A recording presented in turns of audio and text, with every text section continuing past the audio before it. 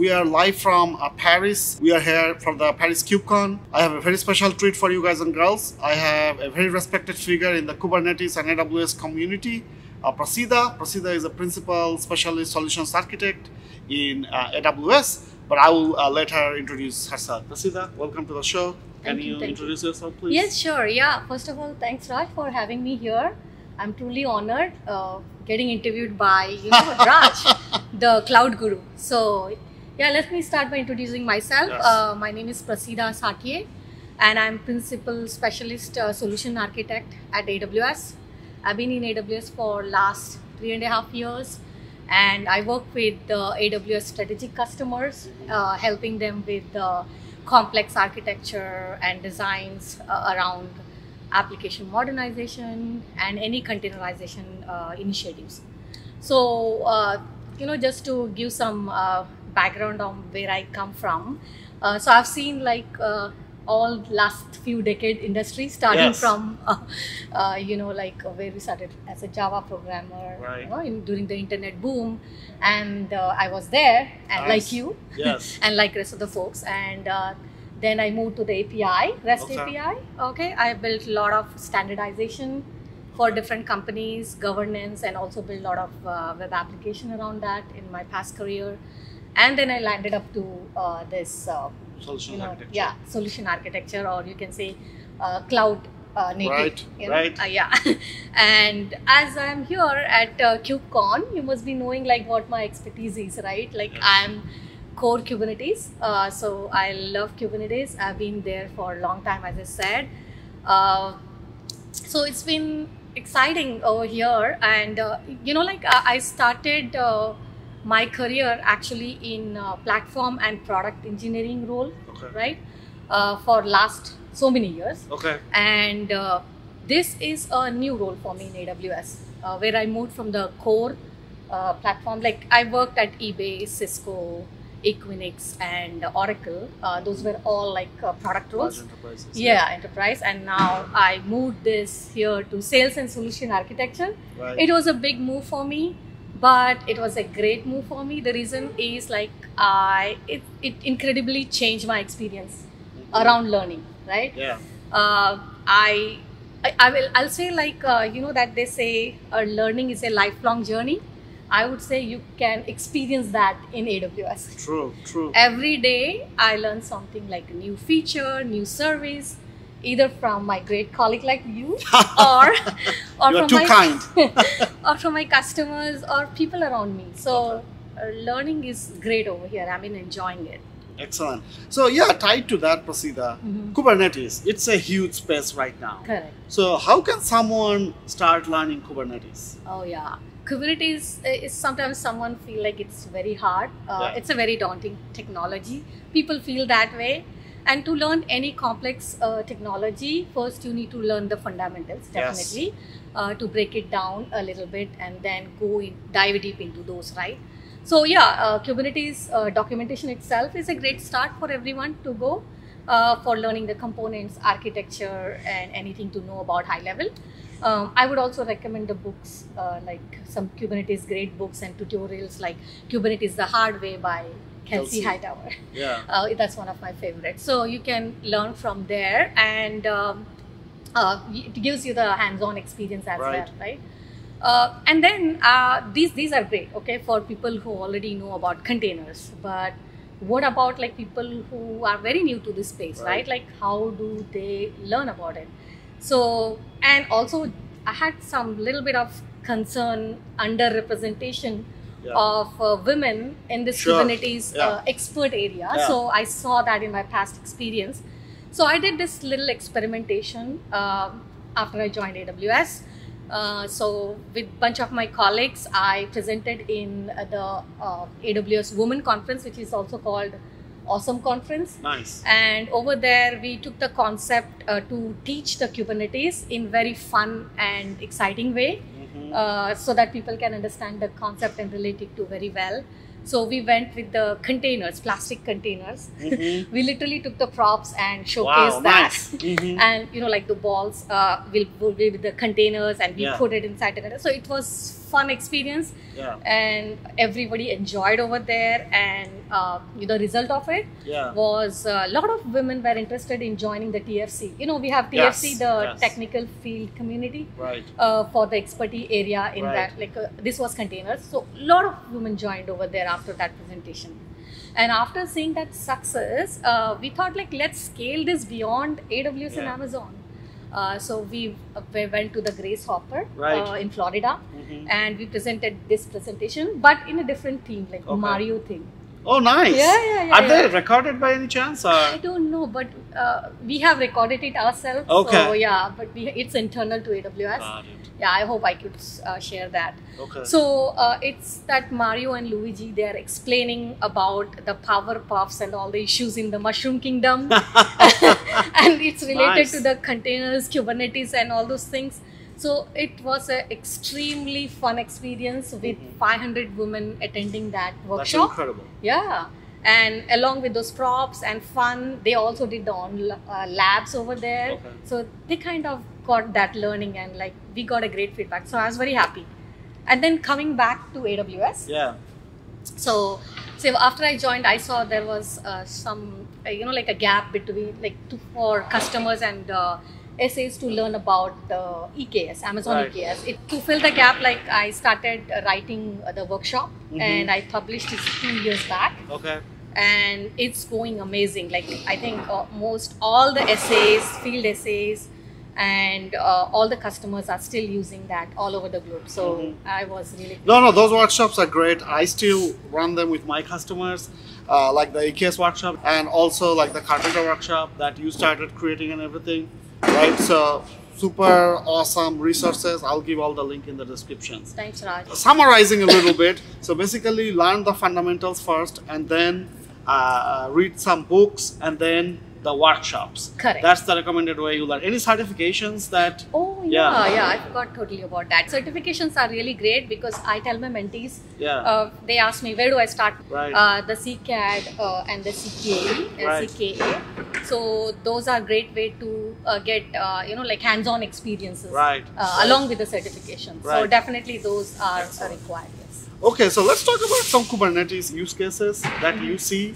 And of course, this is 2024. No, no interview goes without uh, mentioning Gen AI. Mhm, mhm, Uh, So, can you talk about what are some use cases you are seeing in your day-to-day work, including the Gen AI ones? Yeah, yeah, sure, sure. So Kubernetes is kind of very powerful platform, right? Mhm. I've seen like uh, the demand for Kubernetes has been increasing in the area of Gen AI, and of course. uh, So um, I feel that uh, the customers are asking uh, for uh, powerful computation resources. Right. Uh, you know, like uh, more GPUs, Mhm. uh, HPC, uh, Right, those right. kind of clusters. So Kubernetes is really great over there in that aspect because it provides you the abstract on Mhm. top of that and helps you to scale your uh, you know infrastructure. Right. So people are using for that. And then I've also seen Kubernetes has been used for fine tuning uh, modeling because you already have the models. You just need to make sure that uh, you scale uh, those uh, models, right? For Mhm. that also because you can use multiple workloads uh, Mhm. in the Kubernetes. You can do that as well. And then uh, the last part is like inferencing. Uh, You Mhm. can deploy uh, the ML uh, applications and you can scale. Uh, Mhm. Basically, it's uh, it's very famous for scaling, right? It's Right. infrastructure scaling, Right. application scaling, horizontal scaling, and all. So it really works with the customers uh, for the Gen AI workloads. So when I started, AWS had 35 services, Mhm. and now we have over 200 services. Mhm. So if let's say you are fresher again, Mhm. right, and you have to restart your AWS journey, Mhm. how will you learn it? Okay, okay, okay. That's that's another great question. Okay, so I would first recommend to subscribe to this guy. nice. he has a great YouTube channel, uh, Cloud with Raj, right? That's right. Yeah. So he has great resources on cloud. He has great resources on system design. DevOps, Yes. and Yeah. everything. So first place is to start over there, and then after that, I would say that you can do some certifications of Yeah. all the any cloud providers, AWS, Azure, and GCP. Right. Uh, that will give you like the foundational uh, experience on how the networking works, security Right. works, and uh, all the basic like the resiliency and all those concepts, right? Uh, around VPC, uh, availability zones, and all. So it's good to have the certification.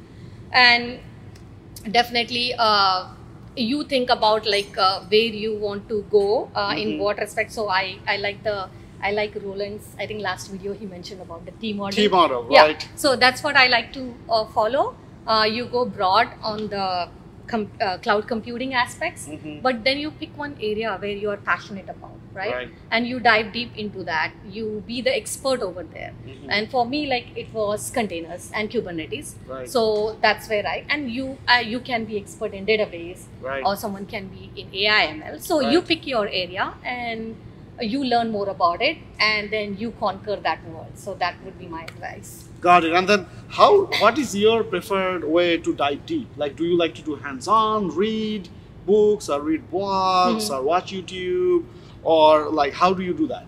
Yeah, so uh, first thing is like uh, for me, uh, I'm very bad in reading. Uh, I'm trying to get better on that.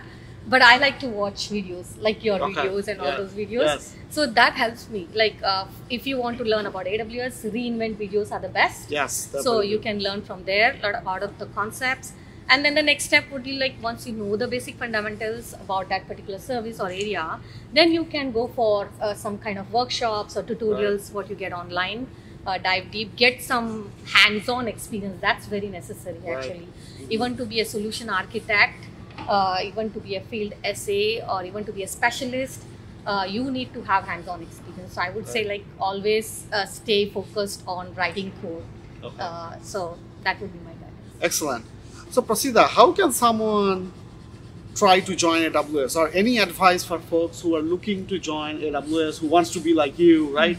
Like, how should they think about it? Okay, sure. Uh, so AWS is big on leadership principles, Right. Uh, and the star format. Yeah. I would say like if you're preparing for AWS interviews or you want to join, uh, focus that on those aspects Yeah. and uh, you know like map whatever you have done in the past according uh, to the leadership principles Right. and according to the um, you know star Star format. format, I yes. did the same uh, with my son Yes. who did yeah. the internship uh, at AWS for la- last year, uh, Yeah. two years he did. Yeah. So that was my uh, knowledge sharing to him as well. Like, Yes. yeah, prepare your interview in that format, and he did make it. So it really works, I guess. Excellent. Uh, so that would be my advice. And uh, the bar is very high over Yeah. here at AWS uh, for anyone who is joining because we have such great colleagues, smart colleagues over here. Uh, yeah. Excellent, excellent.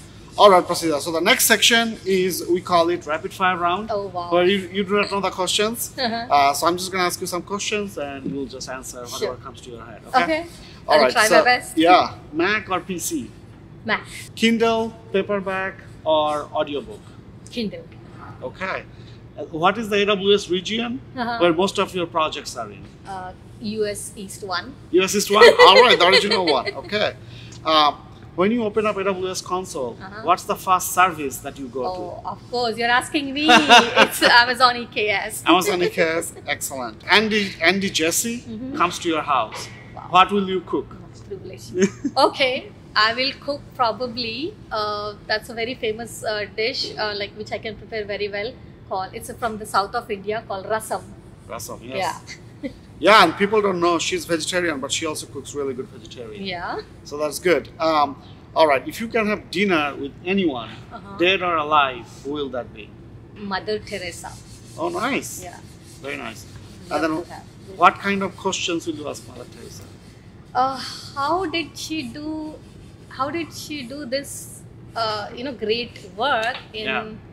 such a different world you know like how did she manage to Uh, give her learnings Right. to the entire world no, Right. it's like a scaling in aws Yes. what you say right Yes, yes. but it's scaling like beyond uh, one's capability Hundred percent. yeah so that's what like i love about that fact charity Well, you are sharing a lot of knowledge, and you are trying to empower women to join tech, right? Yeah, Which is yeah, great yeah, on yeah. itself. I I, i'm doing whatever is possible from my yeah, yeah. No, Mother Teresa. We like Mother Teresa because I'm from Calcutta. Oh, so oh, Mother yeah, Teresa yeah, stayed true. there and did a lot of things Correct, there. we have correct. Mother Teresa, uh, Mother Teresa's establishment there. Oh, nice. So I, want to visit there. once. Yeah, you should. It's really nice. I took my friend from America there.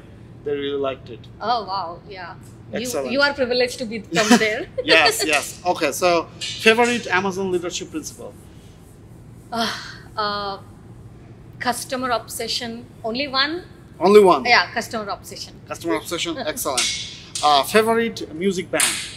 Music band. Um, I I'm not very good at this. Okay. It could be Uh, Hindi. It could be Bollywood. Okay, so That's any. Bollywood uh, Punjabi music where there is like balle balle, I love Yeah. to dance. Yeah. Yeah. Favorite thing you saw in Paris so far? Oh yeah. Uh, I've been to Paris before uh, with my family. Yeah. So of course Eiffel Tower is great, but this time we went to Brussels. Nice. Yeah. So I love to walk in the lane where you can have waffles, taste wine, Yeah. whiskey, uh, beer. Yeah. So that was the best part uh, in these times too. So I love that Brussels. Excellent. Excellent. All right. Uh, how can people connect with you, Praseeda?